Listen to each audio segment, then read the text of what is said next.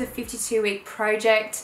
Today's video I'm very excited to share with you because it's one of my favorite days of shooting all year and I was really really happy with how the photos came out from the shoots on the day. I had two shoots on the day with Ebony and Lauren, the models, and Stella, the makeup artist. So it was a really good day of shooting. It was actually like a miserable day outside and we ended up going to Stella's house to shoot and used her space there. And it was really good because it's a bit bigger than my uh, spare room at my apartment. And the lighting was perfect in her place because she has big windows and they allow a lot of natural light in. And I was able to use the natural light on a really miserable day which was great because it's quite filtered and soft. So I was able to use that natural light and also my studio lighting as well. And we created some pretty good images I feel.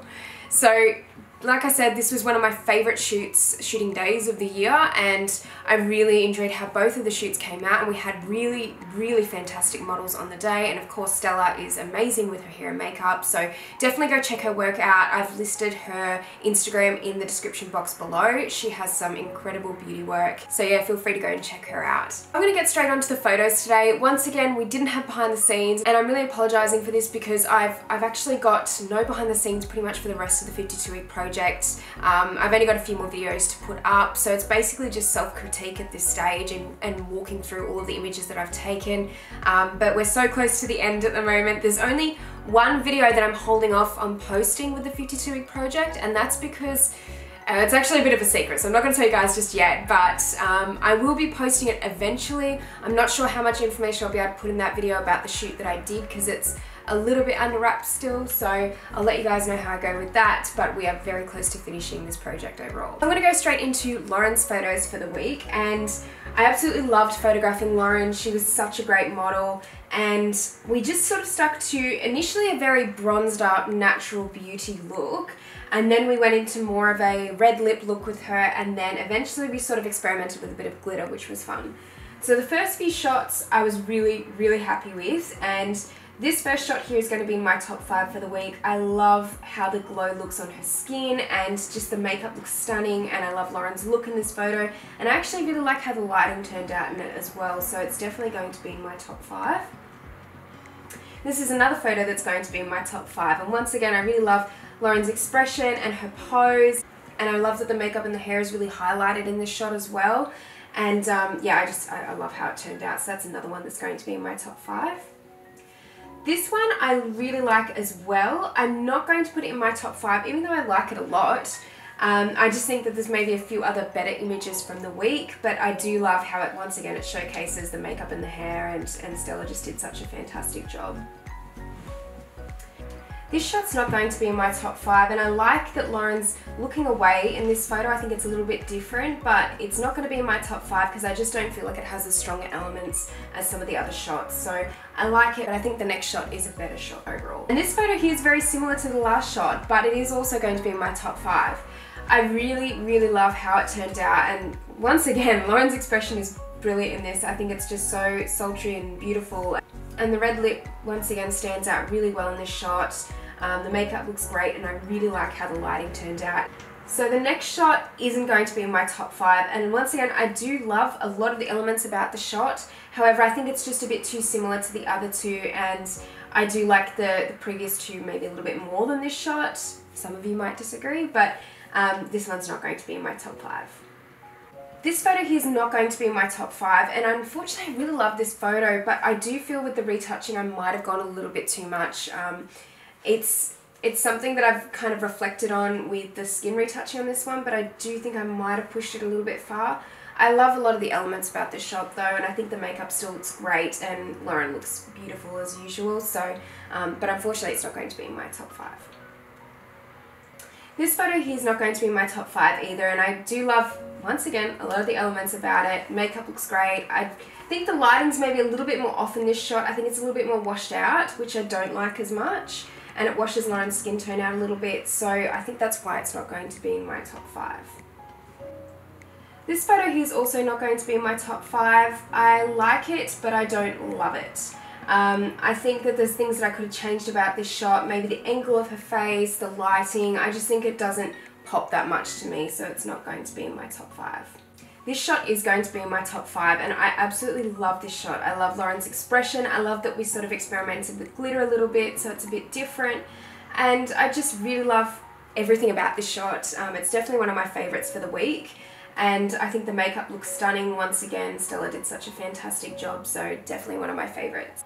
This photo is not going to be in my top five because I do like the previous photo a little bit more. This one's just a little bit more close up of Lauren's face and although everything looks really beautiful, I think once again I struggled with the retouching a little bit on this one and I just don't think it's necessarily my best work but I do prefer the last photo more so that's why it's not going to be in my top five.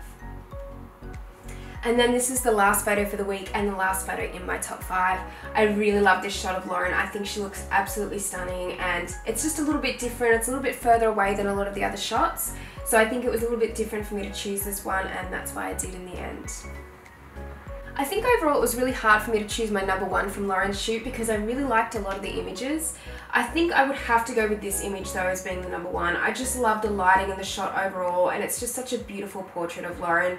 Uh, if there was a close second it would definitely have to be this shot here.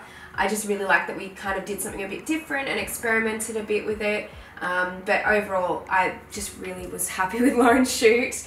It was such a great day and I really feel like everything just came together in the end. So now we're going to move on to Ebony's shoot and oh my god, I loved Ebony's shoot as well and I actually just had so many photos I loved from the day and it was such a hard thing to put them into my top five.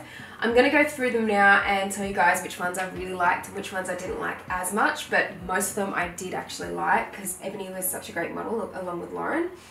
So this first shot is definitely going to be in my top five. It was one of my favorites for the week.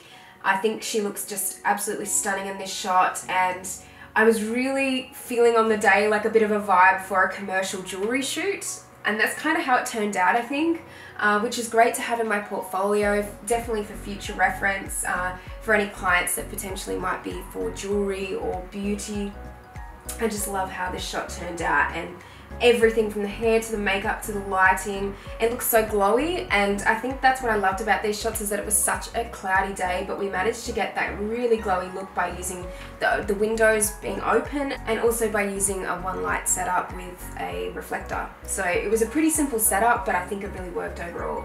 This shot I really love of Ebony too. It's not going to be my top five, even though I do think it's a little bit different and I really like it overall. Along with this one here, they're both very similar, but really good commercial shots for me to have in my portfolio, so I think I'll definitely be keeping those ones. This one's a really lovely shot overall as well. It's not going to be my top five, even though I do love how the makeup looks in this, and I think it's a beautiful close-up of Ebony. Um, I do think I've got stronger shots though overall. Once again, really love this shot. It's not going to be in my top five, even though I love how it turned out and I love that the composition's a little bit different too. I think it looks really great, but not going to be in my top five because once again, I think the stronger. And along with this one, I'm not going to be putting this one in my top five either, even though Ebony just looks amazing in it. We just really stuck to really glowy, bronzed looks throughout the whole um, setup and, and then we kind of moved into a little bit of colour with the makeup and I think this, this colour lip really suits Ebony as well and it's really striking in this shot although I do think that once again I've got other shots that I like even more. This shot is going to be in my top five and I really love how this shot turned out of Ebony. I think it's absolutely stunning and I think she's just so beautiful in the shot and everything looks really good with the lighting, so glowy and the makeup looks amazing so definitely going to be in my top five. I really love this image also and I think it's definitely going to be in my portfolio somewhere because I think it's a bit different with expressions um, but it's not going to be in my top five. I just think that we were really sticking to a beautiful um, relaxed beauty theme with this shoot and I mean I love this shot but it's just not going to be in my top five. Now this is one of the close-ups that's going to be in my top five of Ebony and I think it's just such a striking shot of her makeup and of her personally. Um, I think she just looks absolutely stunning once again. I feel like I'm a broken record in this video because I just really was happy with how all these images turned out. And it's funny comparing these shoots back to my previous beauty shoots, I wouldn't say that um, they really rise above this particular day because this was just such a good day for, for Stella and I with shooting and I really feel like we did really, like a really good job on the day. This is another one in my top five and I feel like it's just such a beautiful close-up of Ebony. It's a bit of a different angle of her face too and I really like that and I think it shows off her freckles and her eye colour and, and just the makeup looks great. Love the lighting so definitely going to be my top five. This is another shot that I love of Ebony. I think that it's really cool that she's smiling and laughing and it looks really good and commercial. And it's definitely going to be in my portfolio along with most of the other images in this shoot, but it's not going to be in my top five as I thought that I did have stronger beauty shots. Once again, a really lovely commercial image of Ebony, but won't be in my top five due to there being other shots that I prefer over this one. Now, I really love this photo of Ebony for some reason, so it is going to be in my top five. It'll be my last one in the top five for the week.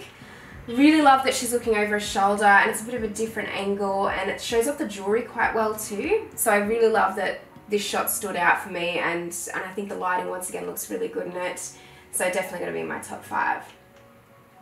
And then these last three images of Ebony, I really love all three of them.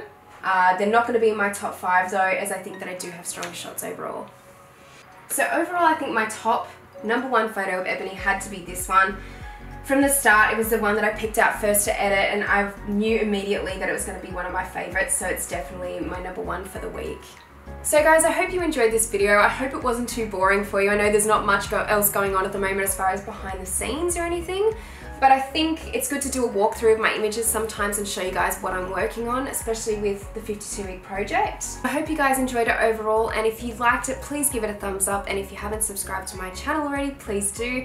And let me know what you want to see in future videos, if there's anything particular beauty-wise that you'd like to see, tutorials or, or anything like that on my channel, please let me know in the comments section below. And thank you so much guys for watching. I'll see you next time. Bye!